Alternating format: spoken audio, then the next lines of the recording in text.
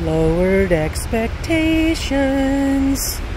This is what lowered expectations of the VA looks like. And ironically, it's parked at the West LA VA's ER parking lot, which is just in the distance there. Go Navy. Don't even have a damn door.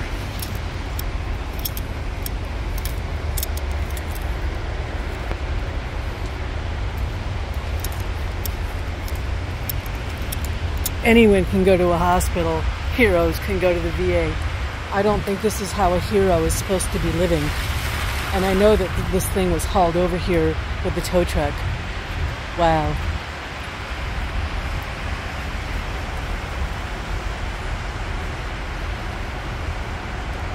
This while there's supposed to be 2,400 units being built for veterans as we speak. I'll go see how that project's going soon. Have a great day.